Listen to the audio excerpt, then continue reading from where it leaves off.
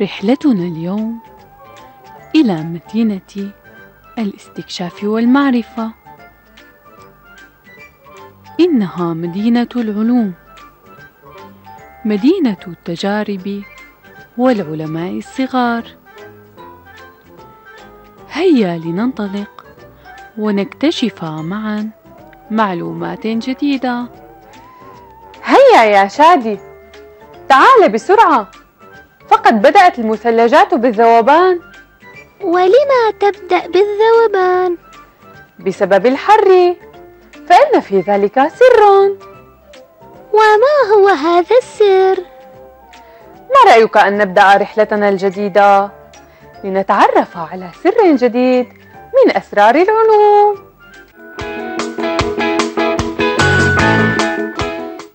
ما زلنا في مدينة المادة يا شادي. وهؤلاء هم أصدقاؤنا الثلاث الصلب والسائل والغاز. إنهم يشعرون بالحيرة. لنرى ما هي المشكلة. مرحبا أصدقائنا أنا الحالة الصلبة وهذان صديقاي. نحن الحالات الثلاث للمادة. نرغب بالتحول من حالتنا إلى حالات جديدة مختلفة.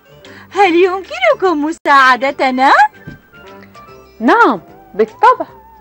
رافقونا في رحلتنا لنبحث لكم عن حل للمشكلة.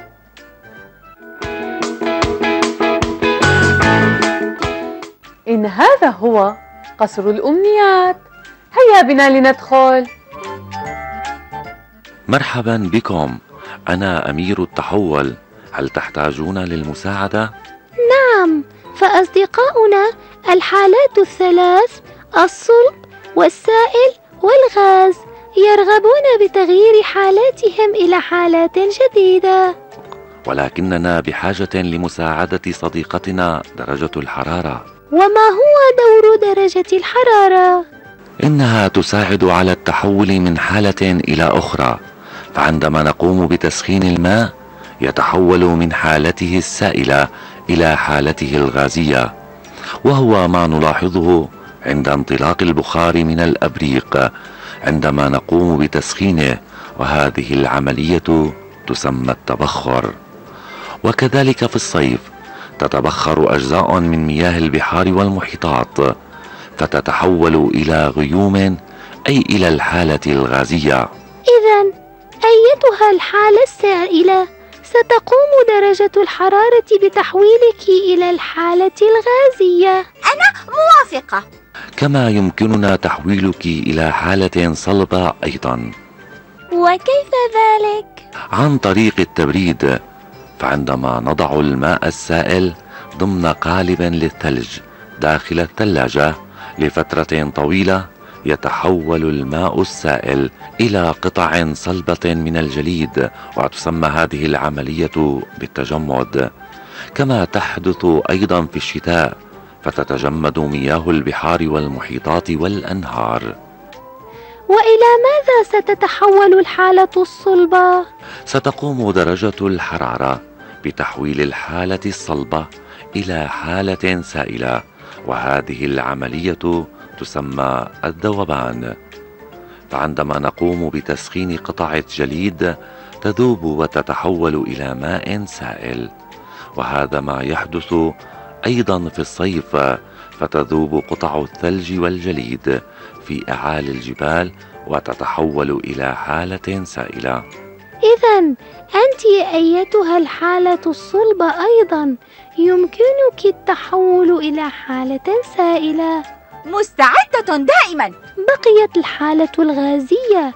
إلى ماذا ستتحول؟ ستتحول الحالة الغازية عند تبريدها إلى حالة سائلة وهذا التحول يسمى التكاثف ففي الشتاء تتحول الغيوم من الحالة الغازية إلى أمطار أي إلى الحالة السائلة.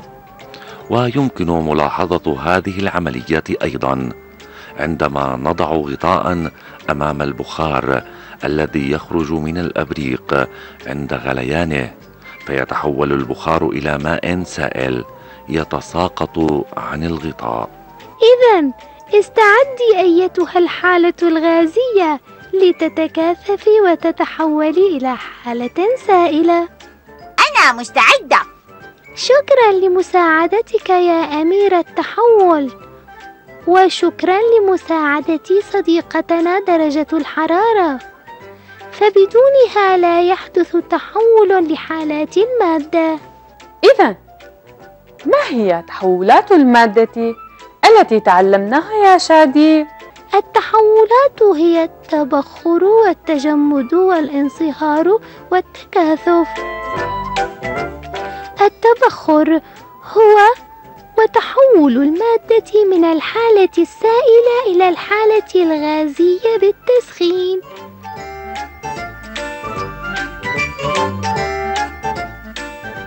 والتجمد هو تحول المادة من الحالة السائلة إلى الحالة الصلبة بالتبريد.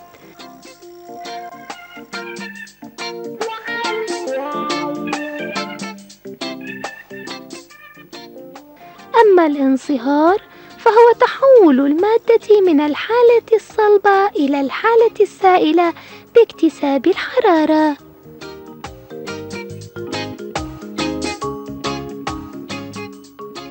أما التكاثف فهو تحول المادة من الحالة الغازية إلى الحالة السائلة بفقدان الحرارة.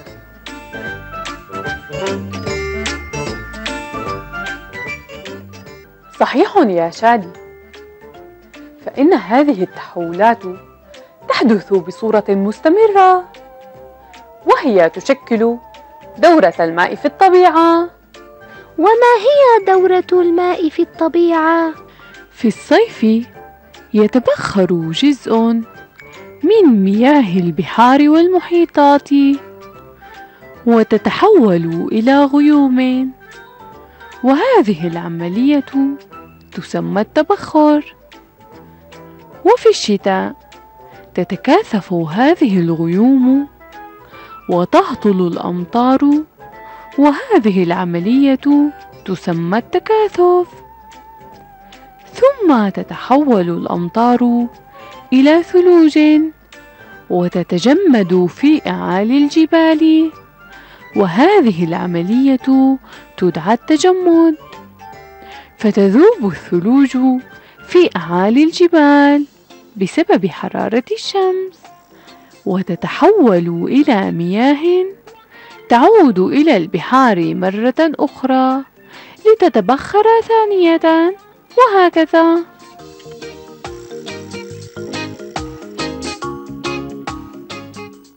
إذا دورة الماء في الطبيعة تبخر ثم تكاثف. ثم تجمد ثم ذوبان لتعود المياه مرة أخرى وتتبخر ثم تتكاثف وهكذا. هيا يا شادي لنصل العبارات الآتية بما يناسبها. حسنا سأقوم بإيصالها. تحول المادة من الحالة الصلبة إلى الحالة السائلة يسمى انصهار. تحول المادة من الحالة الغازية إلى الحالة السائلة يسمى تكاثف. يحدث التكاثف بفقدان الحرارة. يحدث التبخر باكتساب الحرارة. شكرا لك يا شادي. شكرا لكم أصدقائي. وإلى اللقاء في حلقة جديدة من سلسلة العلوم والحياة.